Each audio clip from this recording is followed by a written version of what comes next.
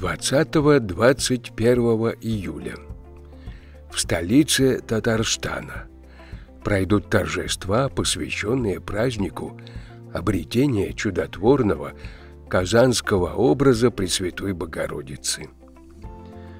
20 июля в 17.00 в Благовещенском соборе Казанского Кремля состоится всеночное бдение с чтением Акафиста Божией Матери. Для молитвенного поклонения в соборе Благовещения Пресвятой Богородицы будет выставлен почитаемый список первоявленного образа, переданный в Казань из Ватикана в 2005 году. 21 июля в 7.00 в Благовещенском соборе будет совершен молебен Божией Матери перед ее казанским образом.